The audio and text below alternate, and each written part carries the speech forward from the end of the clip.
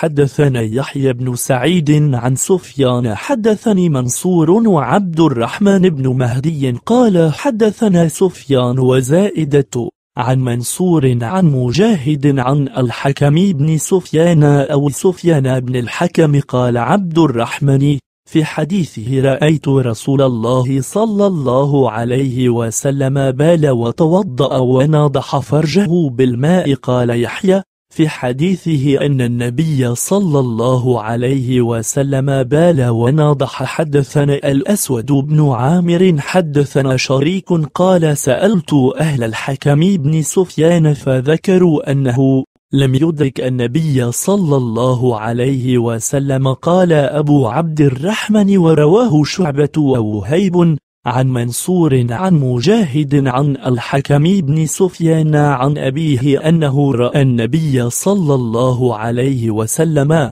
وقال غيرهما عن منصور عن مجاهد عن الحكم بن سفيان قال رأيت النبي صلى الله عليه وسلم